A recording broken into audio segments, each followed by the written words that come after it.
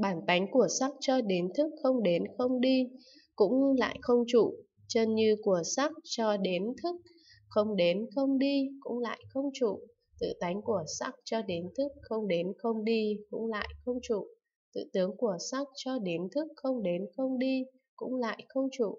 Vì sao? Vì bản tánh chân như, tự tánh, tự tướng của sắc cho đến thức, hoạt động hoặc trụ, bất khả đắc.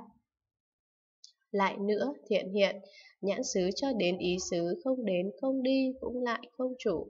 Bản tánh của nhãn xứ cho đến ý xứ, không đến không đi cũng lại không chủ. Chân như của nhãn giới cho đến ý xứ,